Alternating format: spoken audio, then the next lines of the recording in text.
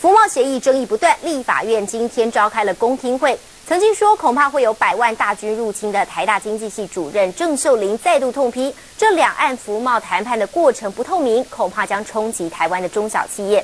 不过商业总会带头力挺服贸协议，产学界交锋相当激烈。说是要行使公民权，抗议学生整群翻墙闯入立法院。抢盾牌、扯帽子，学生大喇喇踩着警察肉身翻墙而过，甚至飙粗口。OK，那你不要不要靠近，大家都不要靠近，好不好？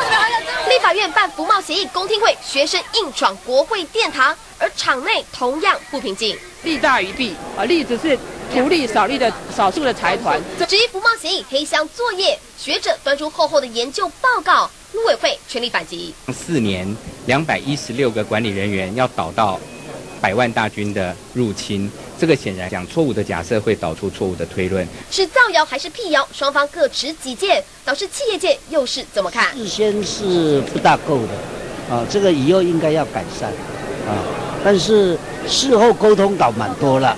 台湾没有退缩，也没有关闭关自守的条件。商业总会虽然带头挺服贸，但外界的反弹声浪还是逐渐扩大。